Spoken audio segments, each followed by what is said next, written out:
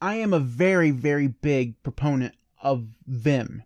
And I think that everyone should at least learn the basics of using Vim. But even as much as I enjoy using Vim, I don't think that it is for everyone. I don't think that everyone should or even wants to go through and learn all the intricacies of using Vim all the time. It's just not for everybody. That being said, I do think that it is important for everyone to have a text editor that they're very familiar with, that they can open up to take notes, to edit a configuration file, whatever they have to do. I think that it's very important that everyone has a text editor that is for them. And as much as it pains me to say, the terminal is not necessarily the best mechanism for editing text, at least for most people. For me, I love it, but I'm a nerd. For other people, a GUI text editor is probably the best solution. So, what we're going to do today is talk about the five best GUI text editors that you can use. Now, there are a couple applications that I've left off this list for purposes. So the first one is Visual Studio Code. I don't really consider that a text editor for the one thing. And the next thing is that it's not open source. As far as I'm aware, it has a lot of proprietary stuff there. It's developed by Microsoft, so I've left that off the list. The other one that I've left off the list is Sublime Text. Now, I know there are a lot of people out there who use Sublime Text. I'm not one of them. I don't know anything about it, so I've left that off the list. But if the five that I talk about here in the video don't suit your fancy, Sublime Text might be another option for you. So technically you're getting a bonus. And you're not even going to have to wait till the end of the video for the bonus. I just gave it to you at the beginning. So, winning. So, let's go ahead and jump in. Here are the top five GUI text editors for you to use on Linux. The first one on the list is gedit. Now, gedit is the text editor that comes by default on the GNOME desktop environment. Now, I can't show you actual text in this because for whatever reason, the theme is all funky on my system. I don't know why. I actually did type something there, but you can't actually see it. The highlighting is really weird. I'm sure I could go through and fix that, but that's just going to be a, a, a system problem for me. But for the most part, gedit is actually really great. There's a ton of options that you can go through and set and play around with. It does a decent job of syntax highlighting if you're doing a little bit of coding. There's a whole plugin ecosystem here that you can use in order to expand its functionality. And overall, it's just a really good, yet basically simple text editor that has some options for coding. Now, one of the cool things is like some of the others that are on this list, it does have tabs that you can go through and have multiple documents open at once.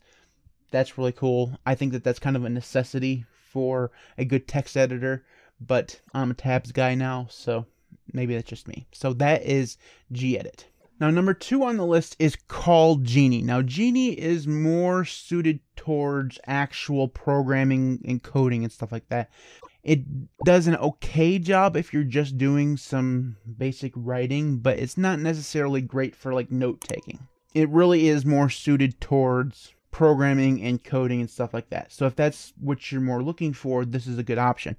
It's not as sophisticated as something like Visual Studio Code or even Atom or something like that, but it does have a lot of features. It has a plugin system, it has a ton of preferences, if I can actually open them up.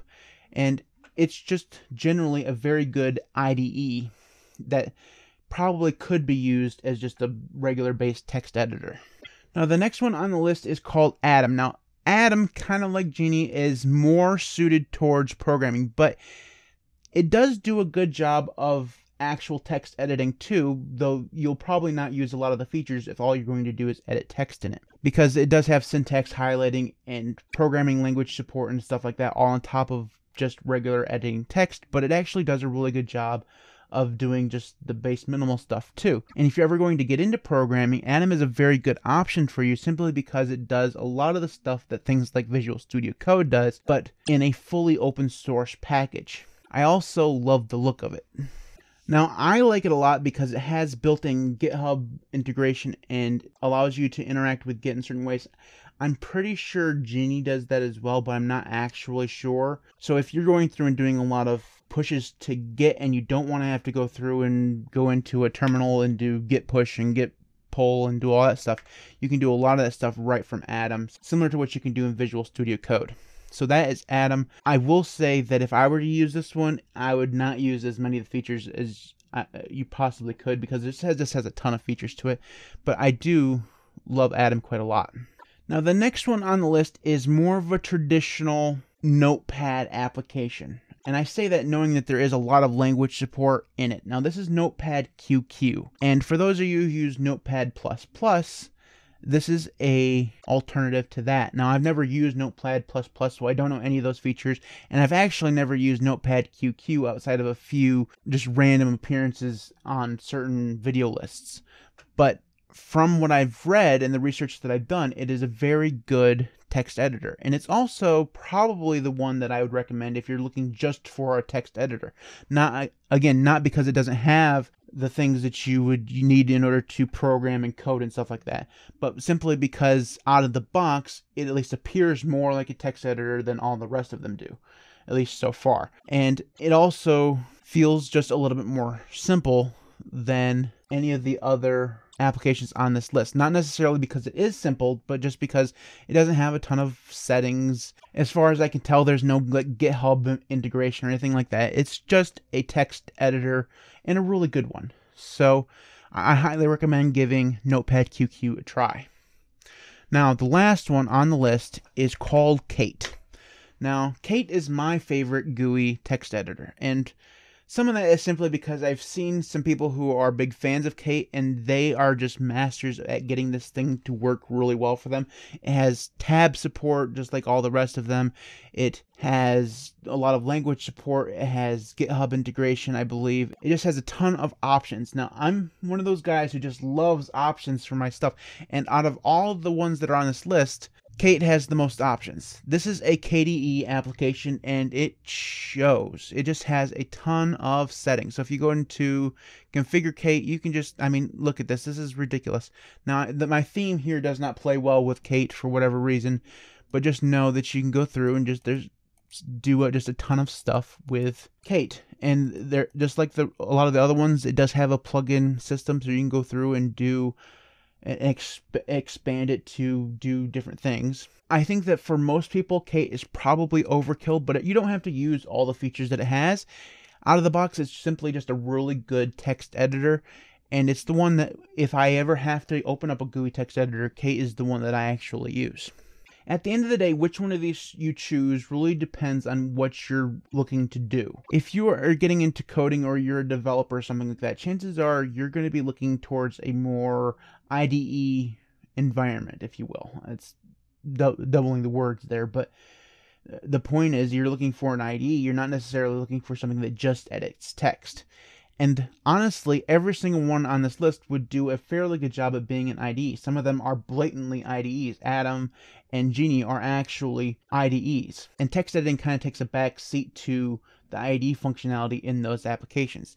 The other ones kind of combine everything that you'd want in a text editor alongside all of the coding stuff that you'd want if you're looking for an IDE like experience. Now, so, I'm not reviewing any of these based on their IDE features. Some of them are good, some of them are bad. I'm not a developer, so I can't really judge. So I highly recommend if you're getting into that kind of thing that you play around with them and see which one is the best for you. And honestly, I know I ranked them on this list, but there's no wrong answer to any of these. Like the, they're all really good. The one that I'm actually looking forward to playing around with the most is Notepadqq, simply because I've never actually used it before. So I'm gonna give that a little bit more of a try and see if it could surpass Kate as my favorite GUI text editor. So those are the top five GUI text editors for Linux. If you have comments or you have a text editor that you prefer, you can leave that in the comment section below. You can follow me on Twitter at the LinuxCast. You can support me on Patreon at patreon.com slash LinuxCast. Before I go,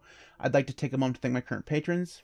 Today, Devon, Patrick L, Maeglin, Jackson Apple Tools, Steve A, CyberGuyLinux, Garrick, Mitchel, Art Center, Carbonated, Jeremy, Shaun, Odin, Martin E, Andy, Merrick, Camp, Joshua Lee, JDawg, Peter A, Crucible, Dark Bandit 6, Vlad A, Primus. Thanks everybody for watching. I'll see you next time.